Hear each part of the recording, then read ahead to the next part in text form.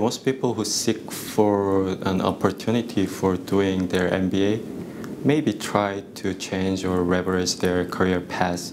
And my case is also the same. And my previous workplace was uh, really domestic, and also there was less chance to uh, pursue my career globally. So that's the reason why I ch chose to do my MBA course.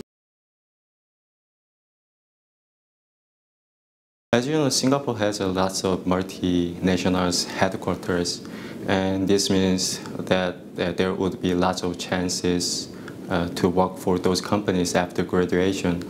And in addition, the reputation of Sing uh, SMU is getting higher in Singapore, so that made me choose this SMU as a stepping stone for my future career.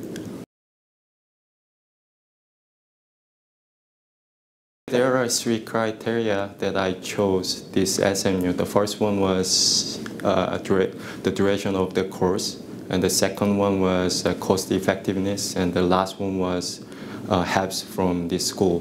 The first one, the duration of the course is uh, this SMU is only one year course, so it can minimize the impact in my career gap.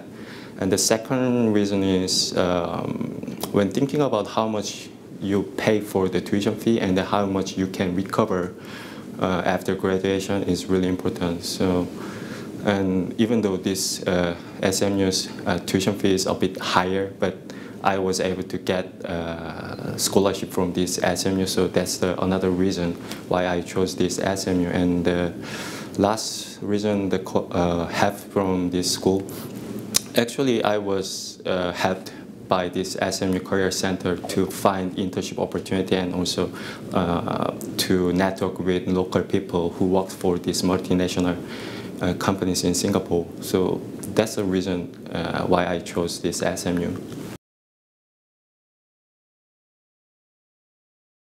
Uh, actually, I prepared for this GMAT test by using the official guidebook and also I took uh, two online lectures. Uh, as you know, I'm Korean and I'm, my English competency is not that high, so I focus on math, uh, math part uh, more than uh, the English verbal test.